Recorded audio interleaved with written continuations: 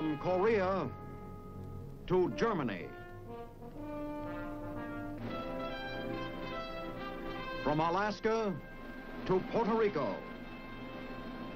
All over the world, the United States Army is on the alert to defend our country, you, the American people, against aggression. This is the big picture, an official television report to the nation from the United States Army. Now, to show you part of the big picture, here is Sergeant James Mansfield. Today, we bring you another in our series of The Big Picture, devoted to telling the story of the combat infantryman, the soldier who wears the blue badge. We are going to show you the toughest 10 days of fighting in the whole New Guinea campaign of World War II. And we're going to bring you the men who fought there, the prized 6th Infantry Division. Later on in the program, Colonel Quinn will have a special interview with a captured Chinese communist soldier, the sort of Chinese communist we use at the intelligence school for training officers in prisoner interrogation. So now to tell you more about our program, we take you to the office of Colonel William W. Quinn. How do you do, ladies and gentlemen? This week we have a most unusual program. It's an interview, an interview with a Chinese communist soldier we're going to find out, I'm sure, quite a lot about communist philosophy and logic. Beforehand, however, we'd like to show you a living history of a great American division, the Old Sunset, or the Sightseeing Six.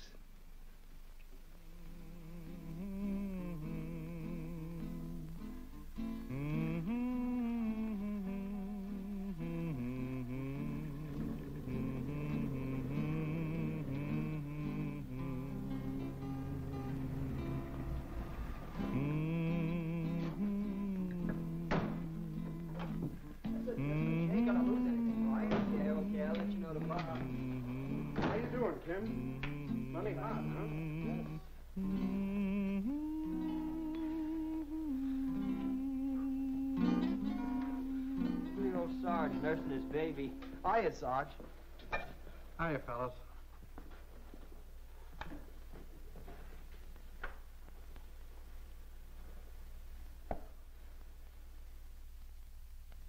In a few minutes, I'll have an anniversary. Four years with a division. A lot has happened in four years. For one thing, mm-hmm. new faces have come into the outfit. Mm-hmm. Only a few of us now remember the faces that haven't been around for a while. Mm-hmm. Faces that go back two, three, or even four years.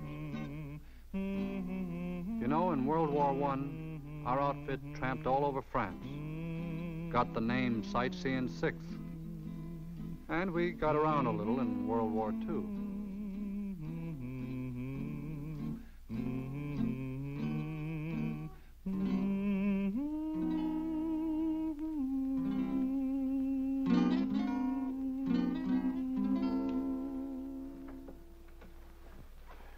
Sarge, how about some singing?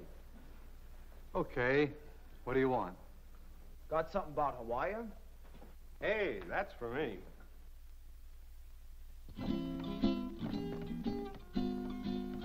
A hula dance is a pretty sight to see, soldier. And a hula girl is nice beside the sea. Yes, the Six had a good look at Hawaii. But when we shipped out, it wasn't only hula girls we were leaving.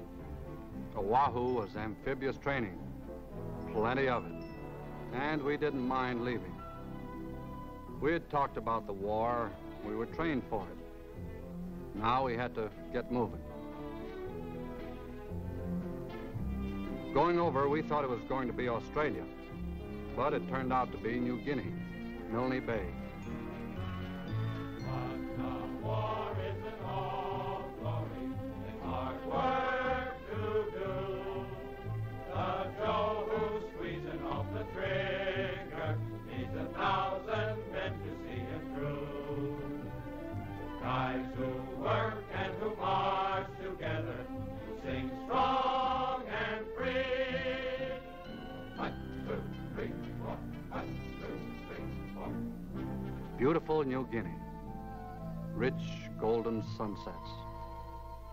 Tall palm trees with coconuts, all you can eat.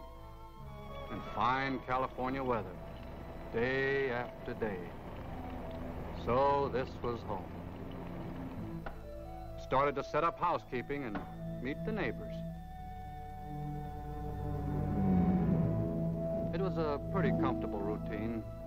If this was life in the Southwest Pacific, it wasn't as bad as they said it was going to be. But after a while, the usual thing happened. Somebody remembered our name, the sightseeing sixth, and we had to move again. We had just gotten nicely set up in our jungle home when we were involved in a trip up the coast to Maffin Bay.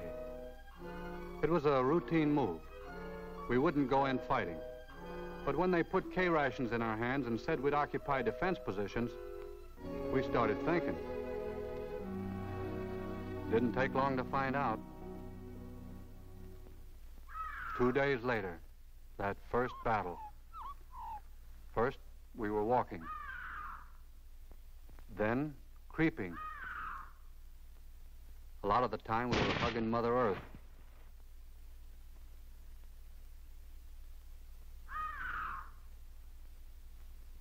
And then we hit the Jap jackpot.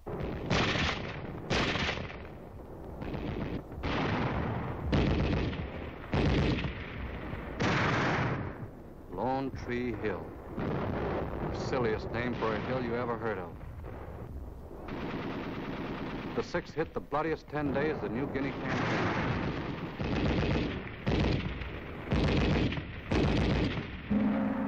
It was the first time we smelled Japs.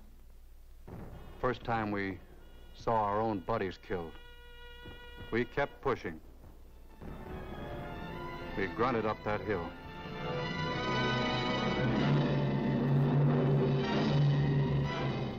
The closer to the top, the hotter it got.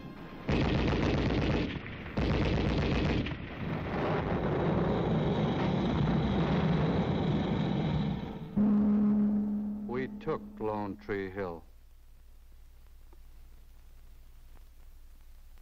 The men who fought there weren't out to become hmm. heroes. They just wanted to do their job, wanted to get it over with. There's something else to remember about Maffin Bay. Our base area was built on a solid foundation of mud. Whatever the new job was, we'd been baptized. Some of us had a chance for a last dip before leaving. We'd done some fighting. We were off on another job. We couldn't help feeling like seasoned troops.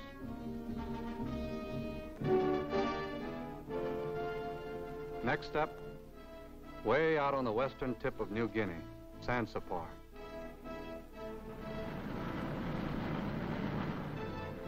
While the Amtraks took two small islands off the beach, the rest of us drove toward the mainland. It was a cool gray dawn, a little quiet, and very wet.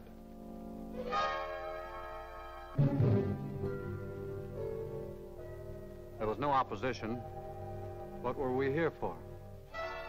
Then the picture got clearer. We weren't looking for a fight. Our mission in San Sansapor was to gain an airstrip. We did it businesslike.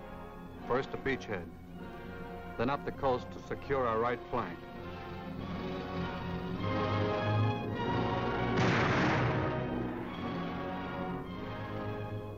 A walk down the coast on our left flank. Some Japs in the area, retreating. We cut them off. Right and left flanks accounted for. We controlled Sansapor. All this time, the engineers were busy. They started working on that strip the day we got ashore. There was an airstrip on Sansapor in record time.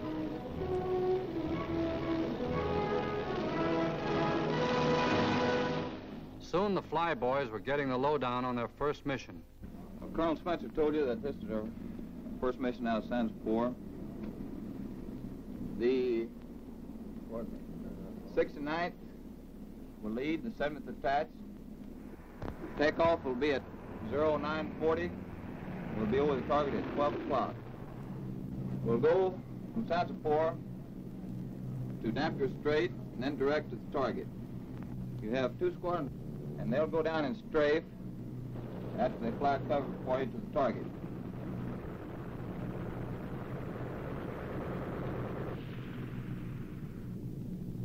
Sansapor was paying off.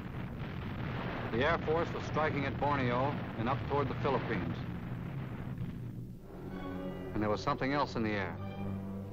An atmosphere of something big about to happen. We got little talks about things to come, stuff to think about. Then came the loading.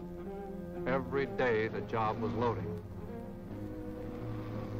More and more LSTs pulled up to the beach. Day after day, we moved in the stuff for our next battle. Finally, the ships were jam-packed. We were getting ready for the biggest thing in the Pacific, the Philippines.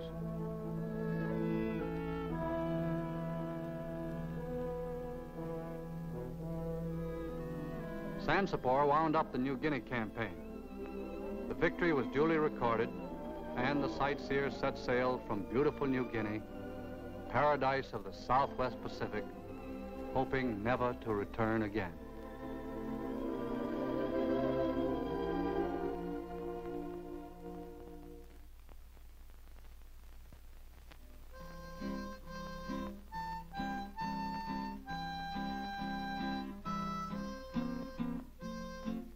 Whatever was coming, there was one thing we had behind us. The sightseeing sixth had been together for a long time.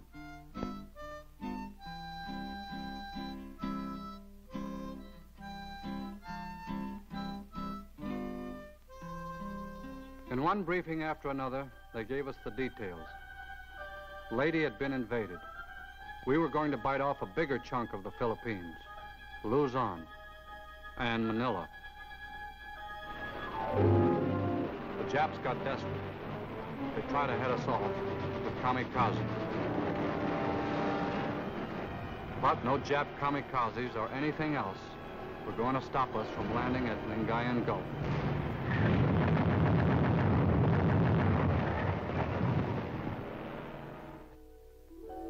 Before the attack, an evening like any other evening in the tropics. Beautiful sky, peaceful.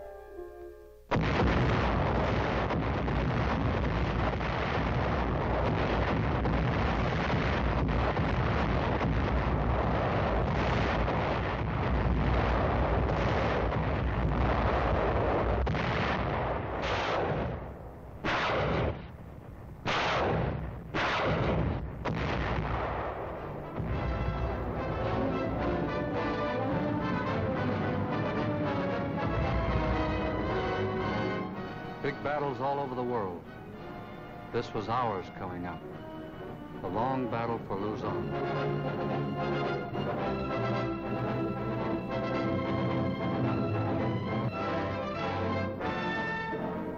Funny looking back on the first few days. Not much trouble. The Japs just seemed to have left town. But the Japs were pretty close, just off our left flank. They were out to blast our beachhead.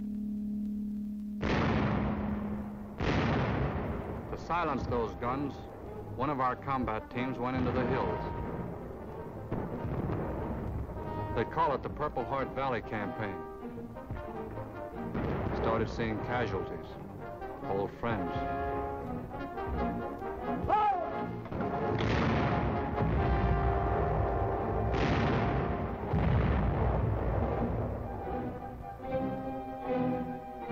Got those Jap guns, and the stuff kept rolling ashore.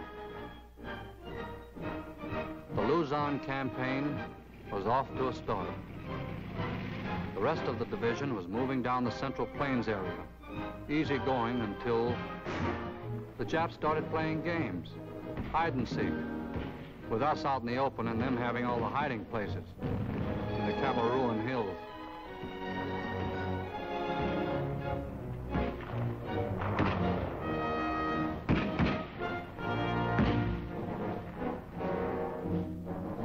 The way south, there was one little town being softened up for us by airstrikes.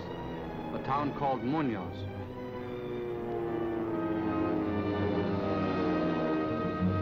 When we got to the town, it seemed to be asleep or dead. No activity.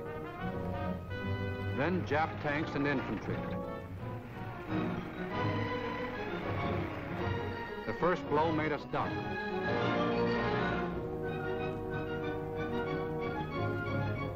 But we hit back. No luck. So we slipped around to the back door and opened without knocking. The Nips were trapped. One night they tried to pull out. We had tanks and heavy guns lined up along the highway waiting. Just waiting for this.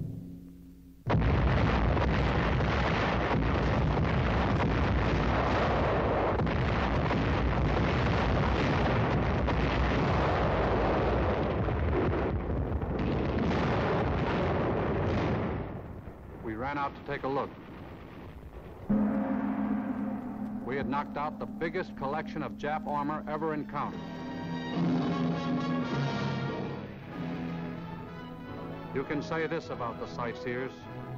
Give them a job, anything, any place, they'll do it.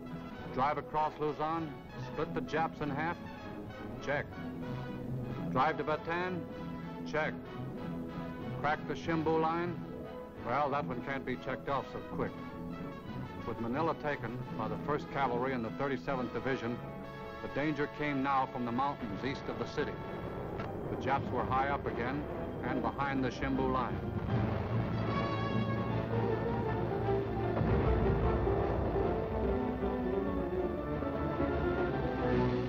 It was down into the valley and up the hill.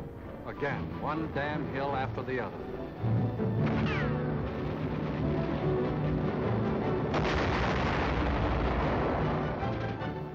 Gave plenty and got plenty.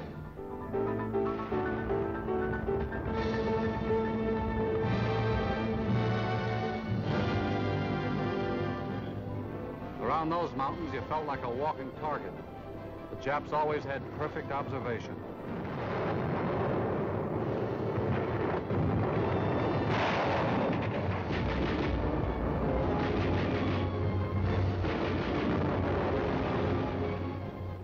Approach was knocking us out. We decided to set out on a new tack.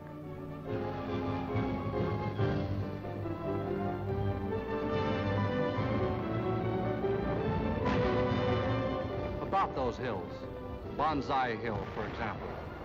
They had to be taken all the way to the top, and then all the way down the other side. And after every hill, a counterattack. You could depend on it.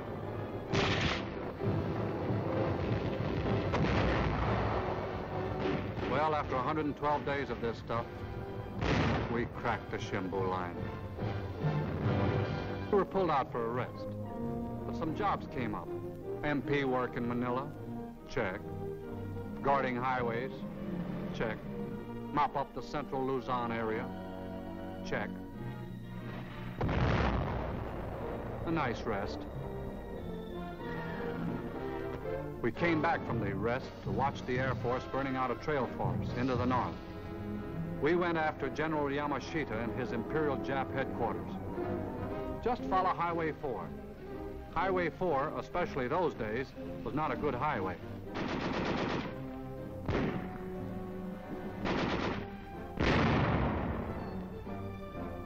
There weren't any speed laws, but you just couldn't make any time. Highway 4 was a lousy highway. It took us right into the jungle. We had been here before. This was New Guinea country. Yep, this was New Guinea, right down to the rain. The 6th Division had an answer to the jungle supply problem. Hard work. The country changed. We got closer to Imperial Jap headquarters. In this position, the sightseers didn't see much country.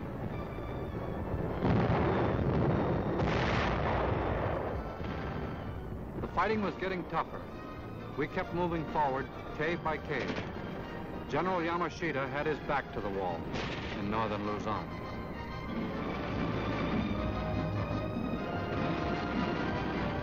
The 6th was poised for the final push when the Japanese Empire surrendered.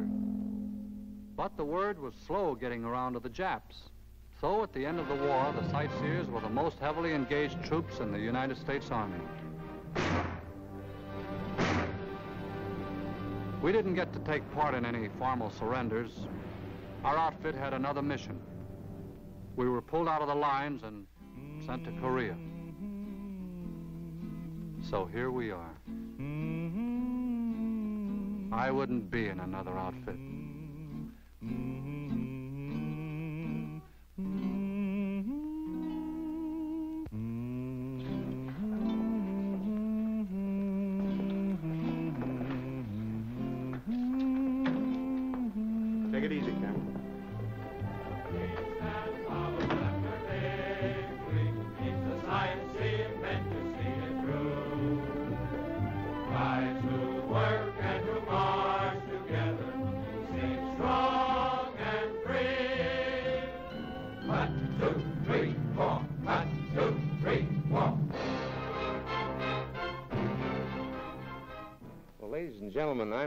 Too sure what's going to come out of this interview with this uh, Chinese communist soldier, but um, let's find out.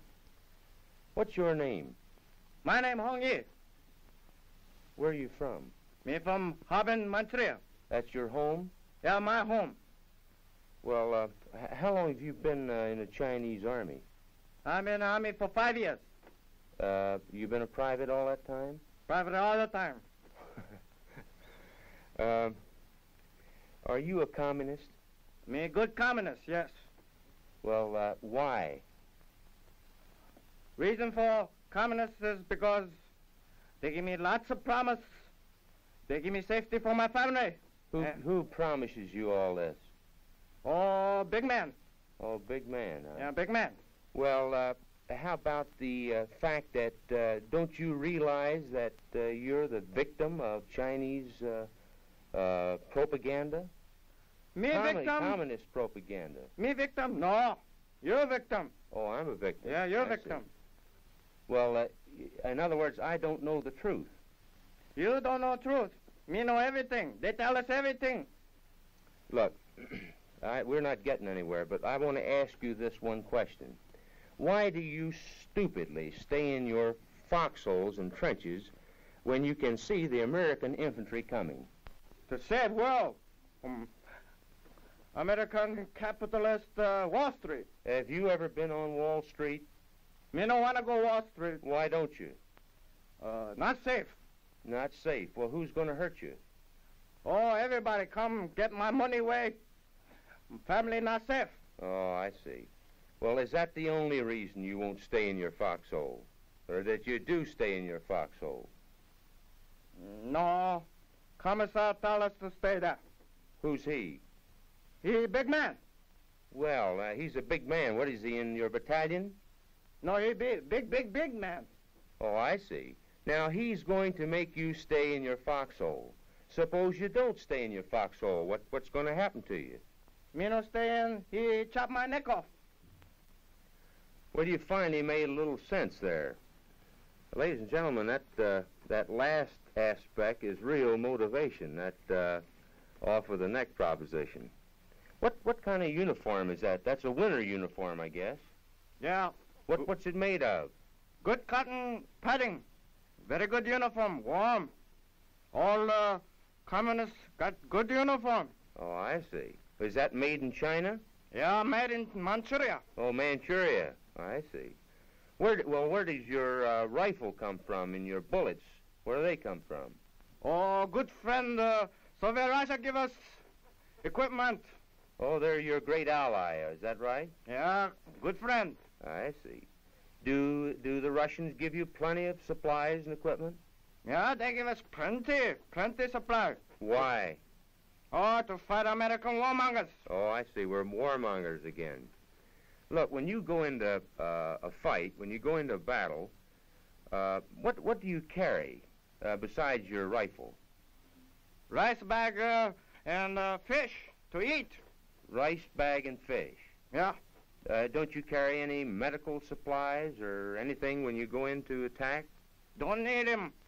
Oh, you don't need them. No. I see. Well, you're just a private anyway. You wouldn't know, would you? Mm, I don't know. Now, look, when you do go into battle, and when you are in there fighting, and, and you run out of food and ammunition, how do you get, uh, how are you resupplied? Do people bring it up to you? My friend died there. My friend died here. They don't. They don't have use. Me take 'em. Oh, I see. You take them. You rob the dead on the field of battle. Is that right? They don't have use. Me take 'em. Well, there you are, ladies and gentlemen. The commie logic goes on and on. Makes no reason, makes no sense. But in any event, today and now I want to introduce to you the star of our communist soldier plot, if you will, Sergeant Kim, United States Army. Sergeant, thanks a lot for being with us. It's been a pleasure to be able to do my part, We- sir. You don't know how much we appreciate your taking such a uh, poor part, but I must say convincing. Incidentally, uh, Sergeant, um, what is your hometown? My hometown is in uh, Honolulu, Hawaii. Well, thanks again for being with us, and uh, I hope that you don't have to take this kind of part anymore. Thank you, sir. well, that's about it for today, ladies and gentlemen. I wish you would drop in on us next week when we tell you the story about the 34th Division in Europe. We're also going to tell you about the United States Family of Medals for Heroism and a great number of many interesting sidelights on the Congressional Medal of Honor. So until we meet again, ladies and gentlemen, this is Colonel Quinn speaking for the combat infantrymen who ask you to look twice at the man who wears the blue badge. It's the mark of a man. The Big Picture is a weekly television report to the nation on the activities of the Army at home and overseas. Produced by the Signal Corps Pictorial Center. Presented by the U.S. Army in cooperation with this station. You can be an important part of the big picture. You can proudly serve with the best equipped, the best trained, the best fighting team in the world today, the United States Army.